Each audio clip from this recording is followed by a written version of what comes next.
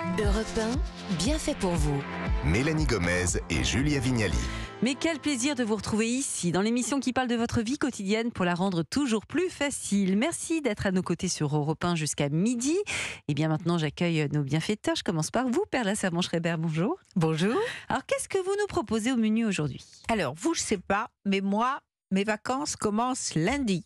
Alors, Non, pas tout de suite pour nous, mais bientôt, bientôt. Mais on prend l'apéro. apéro, apéro, et cet été, pas d'apéro sans Black Meadow. Oh, elle fait des rimes en plus. mais merci beaucoup, Perla. On vous retrouve dans quelques instants euh, au fourneau, mais on va ouvrir le bal avec notre bienfaiteur du jour, Gavin Clémenté Ruiz, du Guide du Routard. Bonjour, Gavin. Bonjour, mesdames, comment ça va? Alors, très bien. Écoutez, je crois qu'on va partir avec vous faire un long voyage dans une ville d'Asie pas assez connue à votre goût. hein. Non, non, non, je vous emmène à Singapour. Euh, c'est une cité-État, hein, euh, ça fait 720 km, c'est pas très très grand en fait. On est en Asie du Sud-Est, à la pointe sud de la Malaisie. Alors attention, c'est 13 heures de vol Oh quand même, minimum, euh, quand on est en vol direct. Alors il y a Mm. notamment la compagnie euh, Singapore Airlines qui, qui le propose. J'ai trouvé des billets juste avant de venir, j'ai regardé, euh, 1000 euros euh, par personne si vous avez Pour 13 envie. heures de Bon, vol. Pour 13 heures de vol, ouais. ça. Mais c'est vrai que, franchement, Ça peut je monter plus haut. saurais pas trop quoi faire moi sur place. En tout cas, je n'amènerai pas mes enfants pour 13 heures de vol, ça c'est Ouais. sûr. C'est vrai? Ah bah, euh, non, mais 13 heures Bah, avec il des enfants en avion. Je suis sûre il y a plein de trucs à faire à Ah, carrément, Singapour avec les gosses. C'est- C'est non? C'est- vraiment une ville, déjà, euh, c'est riche d'histoire. Ça, ça va leur Voilà, plaire. Qu'est-ce parce qu'on va faire alors, là-bas il y a des gens qui viennent d'Inde, d'Asie, du Proche-Orient, euh, du Moyen-Orient, mais aussi d'Europe. Ça donne une architecture en fait complètement hétéroclite.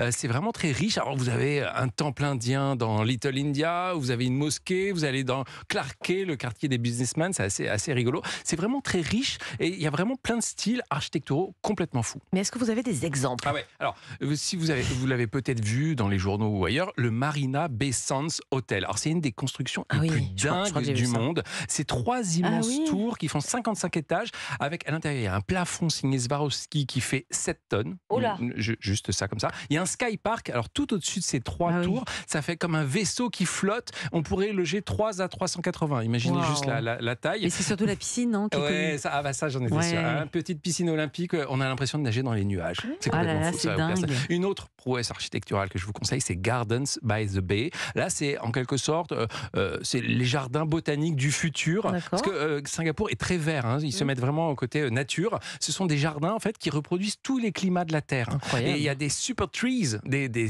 des très grands arbres, si on veut, euh, hyper hauts, futuristes. Ils font 25 mètres de haut. On se croirait un peu dans un film de science-fiction. Tout est géant, de toute Tout façon. est géant à Vous. Vous y tout. Et tous les soirs, il y a un show, il y a des pro- c'est vraiment une promenade nature très très très Donc ça originale. veut dire que Singapour, en fait, c'est pas que des grands immeubles d'affaires. non, bah non, non, bien au contraire. La nature a, en quelque sorte, reconquis du terrain concrètement, hein, parce qu'ils ont Ouais. créé des îles au bord de l'eau, au bord de. Mais de- tout de a cette- été fabriqué Tout hein, à Singapour. Tout est fabriqué quasiment. fait main. Ouais. Et il y a un truc que Comme votre bien. cuisine, Bernard.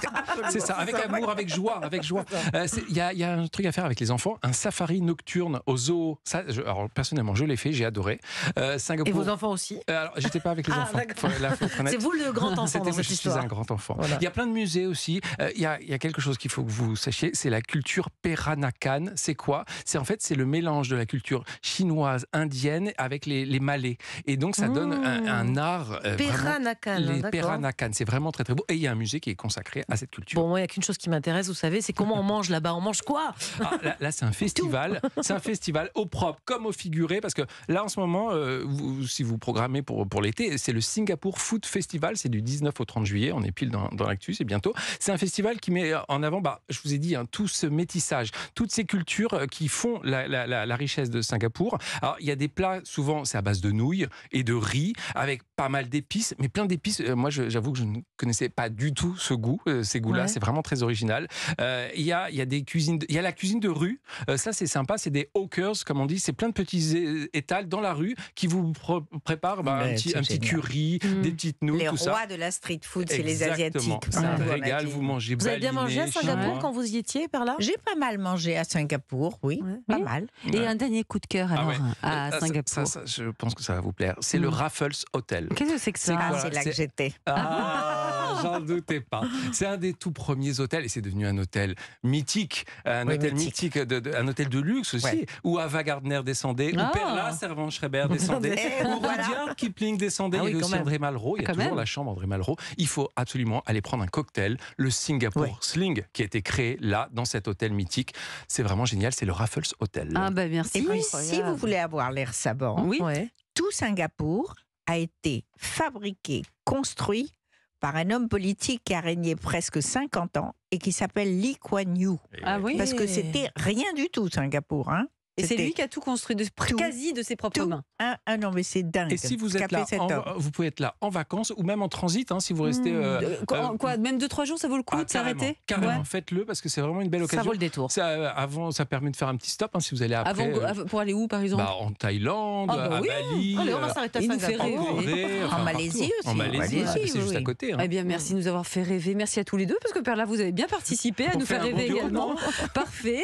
Et bien maintenant, Gavins, merci pour cette découverte. Merci. Je rappelle quand même qu'on vous retrouve tous les dimanches dans Balade en France aux côtés de William Lémergie à Exactement. 11h. Bon, Singapour, ce sera peut-être pas pour tout de suite, mais le Black Meadow de Perla, ça c'est pour maintenant. On vous écoute, Perla. C'est quoi le Black Meadow? Alors, c'est une purée noire au Mhm. goût mystérieux et addictif qui fait l'unanimité à l'apéritif. Se, à- se sert avec des pains ou des graissins. Personne ne devine de quoi c'est fait. Et vous savez que j'adore les plats de vinette. Alors, Mmh. qu'est-ce qu'il y a dedans Mais oui. Alors, il y a dedans des olives noires grecques dénoyautées, des tranches de tomates séchées, 8 simplement, hein, Combien d'olives? des da- il en faut. ben, Là, j'ai donné une grosse quantité Mhm. pour 12 personnes Parce que ça parce se... que ça se conserve des mois au réfrigérateur. Oh. Alors, vous le mettez dans des bols, vous voyez, pl- plusieurs bols, vous Mhm. voyez, ou même deux, au moins pour ne pas sortir à chaque fois le grand bol et le remettre. Voilà. Mhm. Et donc, le secret, c'est des dattes. Ouais, les fameuses medjool, les grosses Mmh. mielleuses. On y met une pointe d'ail si on Mmh. veut, Mhm. mais si on veut pas, on met pas.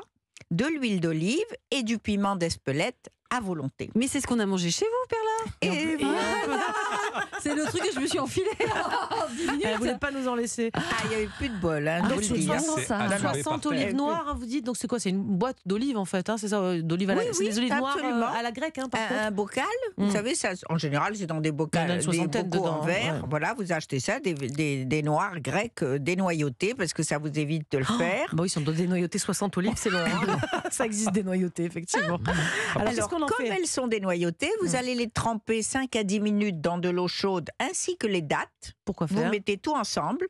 D'abord parce que alors ça n'a pas le même bénéfice pour l'un et pour l'autre. Pour les olives, elles sont sèches, puisque je vous dis d'acheter les olives séchées. Ça les humidifie et ça leur enlève l'amertume, parce qu'il arrive qu'elles soient un peu trop amères. Quant aux dattes, eh bien, ça les... Effectivement, elles sont déjà molles, les dattes, mais ça permet à la peau de la date, parce que surtout les grosses dattes comme ça, elles ont une peau épaisse. hein. Voilà. Alors, si vous avez le courage, moi, c'est ce que je fais. J'enlève la peau, ça s'enlève très facilement. Sinon, en les mettant à tremper, la peau devient euh, plus aimable, je dirais. D'accord, ok. Voilà.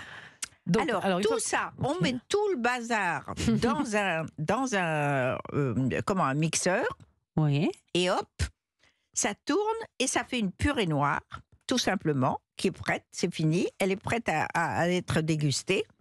Et à température. Alors, quand vous voulez la servir, sortez-la un peu avant du, du réfrigérateur parce que les saveurs sont, comme toujours, beaucoup plus agréables et plus douces. Et c'est quoi votre hack de la semaine, Perla Et bien, c'était ça mon idée, c'était le trempage Ah des bah, olives. bah oui. Alors, même si vous utilisez des olives pour tout à fait autre chose, moi, je sais pas, je fais du pain aux olives, par exemple. Mmh. Le, voilà, dans, dans le pain, je trouve que c'est agréable de les tremper parce qu'elles perdent un peu de leur amertume, donc on les trempe juste deux minutes, voilà. Et les dates, eh bien, comme je vous l'ai dit aussi, puisque j'ai dévoilé mon hack, j'ai besoin de vacances, hein, vous avez remarqué Bon, alors je, je vais partir et surtout, faites, faites du Black Meadow et impressionnez tous vos amis. Oh, merci, Merci, Perla, c'est adorable. merci et je vous souhaite un bel été. Moi aussi. Merci, Vous nous Perla. réinvitez à la rentrée, Perla pour- Ah, je vous invite à la rentrée Ah, pour autre Parce que chose. Black pour Meadow, autre c'est chose. bon. hein. Ouais. C'est très très bon. Gavin l'a goûté aussi. Ouais. Merci beaucoup Perla et bien sûr on peut retrouver toutes vos recettes sur le site europe1.fr. Eh bien voilà, ce magazine est fini pour aujourd'hui.